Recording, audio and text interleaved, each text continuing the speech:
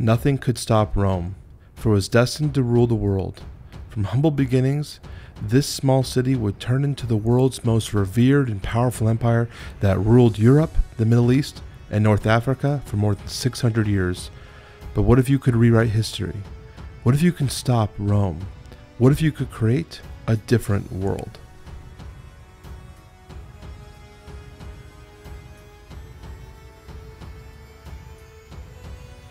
Hello, everyone, and welcome back to Game Brigade. I'm your host, Bryan, and on this show, we do reviews, previews, and playthroughs of your favorite games. So if you're new here, please consider subscribing. Today, we're taking a look at Conqueror Final Conquest, a game set in the 3rd century BC where players will be taking on the six different factions from Rome, Egypt, Carthage, Gaul. You'll be able to choose one of these factions and decide how are you going to play out history. Conqueror Final Conquest is, in my opinion, a gateway war game for people that want to bring people into the war gaming realm, but not intimidate you with a lot of heavy rules.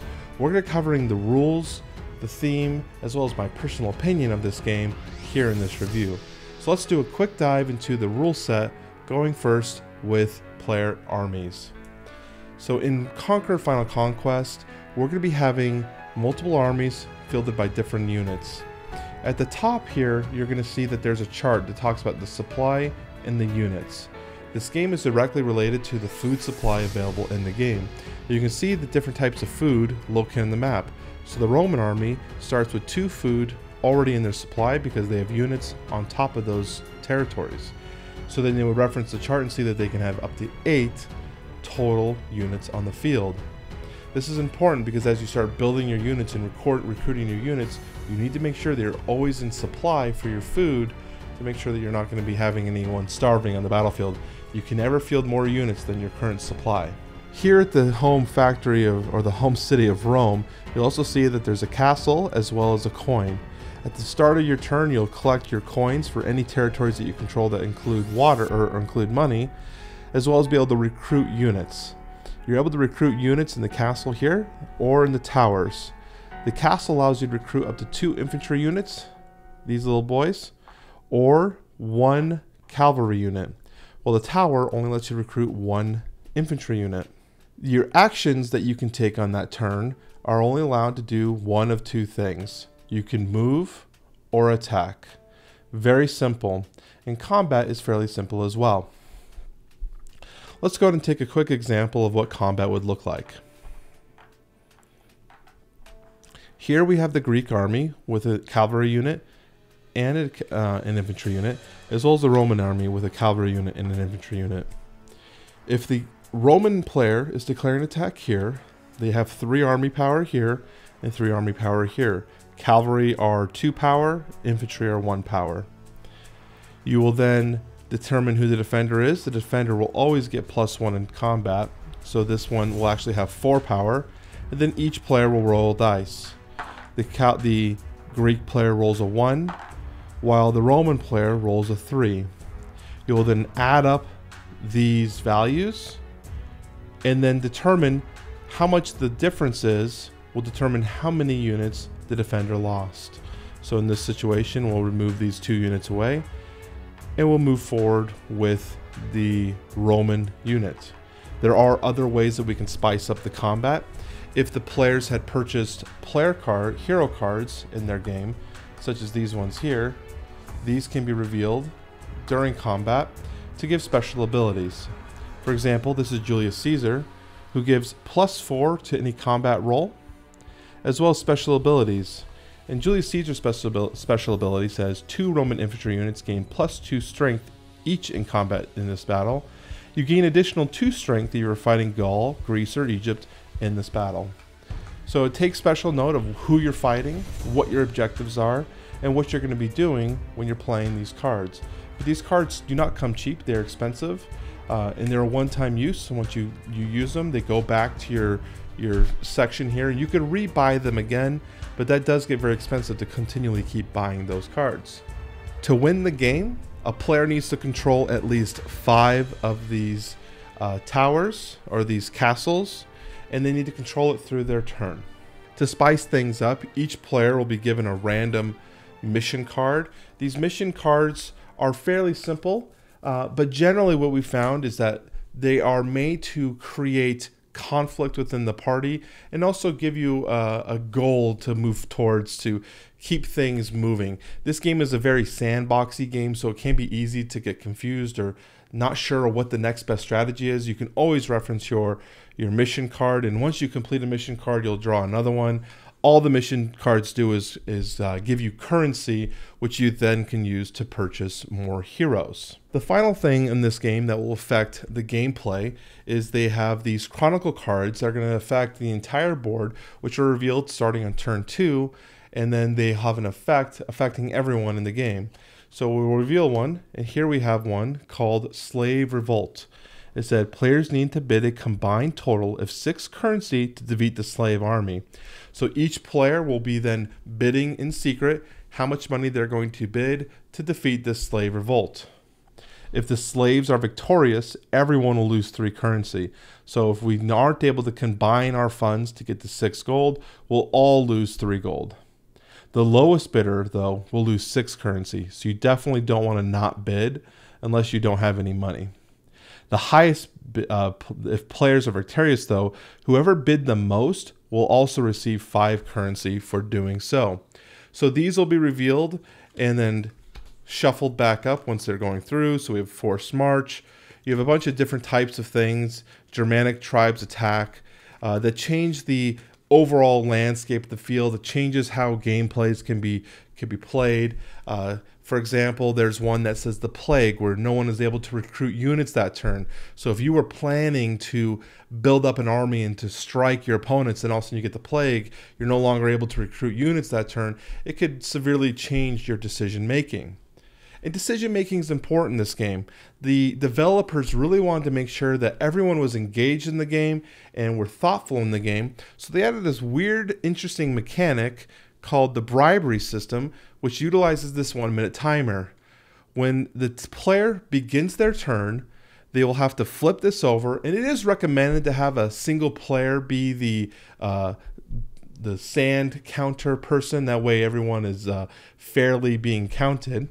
But when this is flipped over, the player will have one minute to think about their turn. They can decide where they wanted to recruit units. They can decide how much income they're going to get.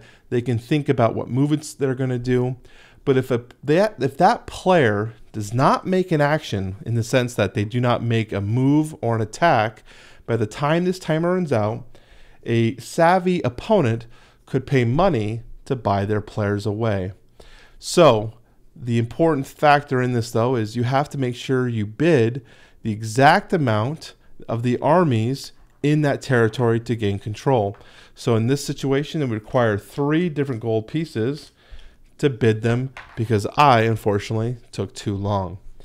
This is an interesting mechanic because it's intended to keep everyone invested in the game, keep everyone uh, excited for their turns, and to keep the gameplay rolling at a smooth pace.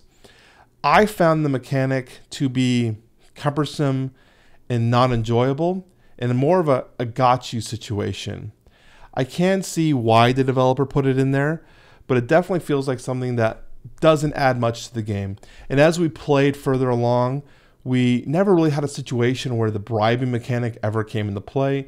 And you would think while reading the rulebook, and it takes up an entire page of the rulebook, and the rulebook is very condensed as it is. It's a pretty well thought out rulebook, very simplified.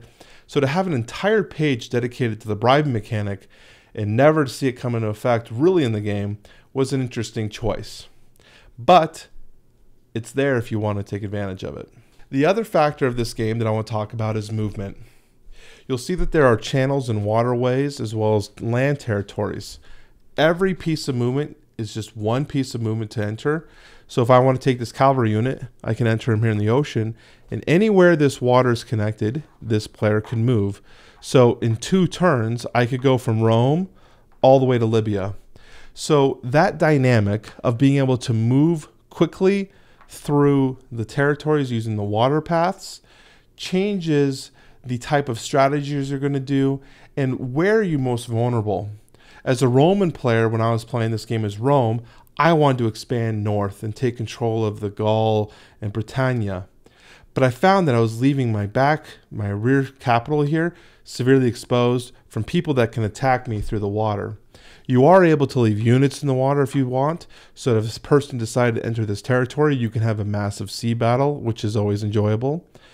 But you have to always remember that someone from Egypt fairly quickly could make their way to Rome and not be expecting it. And it's even more exasperated on the three to four player board, which is different if you play on the alternate side. Another interesting factor is this river here is considered connected. So if you're here, you could end up down here. It's a really interesting mechanic in terms of how they how they transfer yourself across the board, and it does open up different aspects of combat and and um, different types of situations you can you can use. There are bridges throughout the game that do connect signify that those are connected pieces. So while yes, I could go here and then here, I could also just move with one turn straight across the bridge. So that's the generic basic rule set of the game. We've covered pretty much everything. It's a pretty simplified game.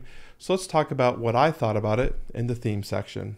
Conquer Final Conquest really brought out a very interesting theme. You would think it would be with simplified meeples, a simplified board, that it's not going to have as much theme or or direct pull into you that you would expect. But I was actually surprised with how much actual real life combat was occurring with Rome and Carthage, where I was trying to take over both Europe because Europe has so much valuable resources, but my mission was taking me to North Africa. So I was pulling myself between multiple situations. And as Rome, I'm surrounded. I've got everyone coming after me because I'm easy targets for everyone. So it was really an interesting pull between all the factions and how they're playing out. I love the fact that you have these all uh, these secondary units in there to kind of be uh, a gateway barrier for people to just steamroll through.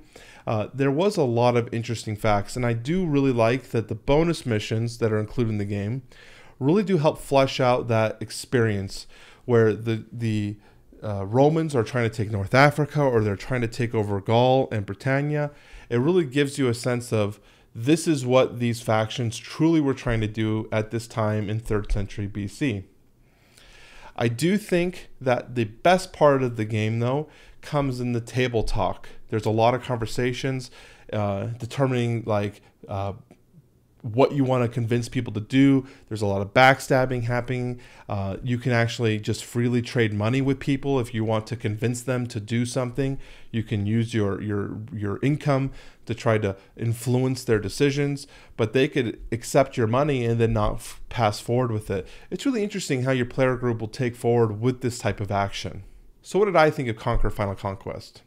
I think the game is nearly there this definitely felt more of a 95% completed game than a fully completed game.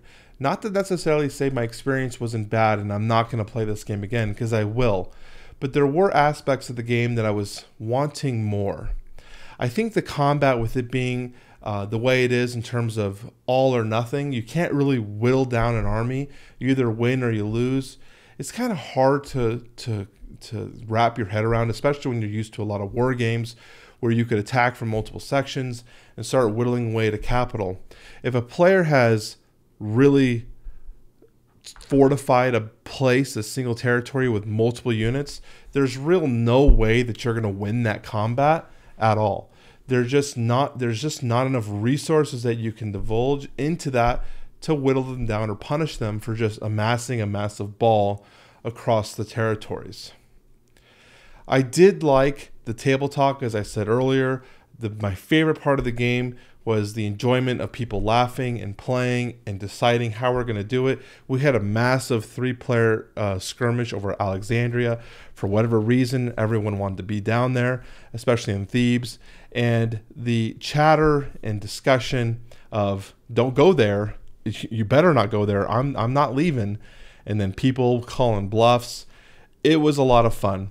And it's one of the aspects of why I enjoy a game that's so gateway and light that you could bring in a lot of different player levels of board gamers into this experience. A lot of times we look at a war game and we think that they're going to be hard to learn or hard to grasp. But if you can grasp games like Risk, which even has, you know, similar mechanics, you can guess, you can easily grasp Conqueror Final Conquest. Overall, I really do recommend Conqueror Final Conquest. I think there's a lot of potential here with the systems here, and after speaking with Mohammed Al Khadi, I'm very impressed with what he's done. And as a first time publisher, and I think as the first one out of the UAE, this is really impressive stuff. I'm really excited to see what he's going to do. He does mention that there's going to be an expansion pack for this game, which will be making a little bit more of a heavier system with adding more units, adding more hero cards, potentially just adding more stuff like the Chronicle cards. There's so much more design implementation available here. I just feel like it needs a little bit more. So maybe the expansion pack will be the thing that fixes the game. I do have to say though, I don't necessarily like that it's a half finished game. When I say half finished, it's more of a because I do think it's like 90% finished. There was just a little bit more work that needed to be done to fully finish this game for me, but overall, I had a great time. I want to thank everyone who stayed till the end of the show. What did you guys think of Conqueror Final Conquest? Let me know in the comment section down below. If you're here for the current giveaway, we have two giveaways going on right now. If you want to make sure that they're still active, for the first giveaway, which is a $99 pledge level for Oathsworn, click the video card up here for more information on that. If you're looking for your secret word to leave in the comment section down below, leave something with the word Rome somewhere inside the comments. If you are here for the Wingspan Digital Edition giveaway, make sure you go to my Instagram page. You're going to want to be following me. You're going to look for the Should You Back It on 7th Citadel. Leave a comment, tag a friend, and you'll be entered in that giveaway. That giveaway will be finalized this Friday. So make sure you stay tuned for that. Again, thank you everyone who stayed until the end. I appreciate all of you guys for supporting the channel. We are so close to getting fully uh, partnered with YouTube. I didn't think it would actually happen to get myself partnered with YouTube, but we are literally there. We're on the doorsteps of it. So thank you again for all the support, all the love and support of the community. Uh, we're going to have more reviews coming, so stay tuned to the channel. Talk to you all very soon.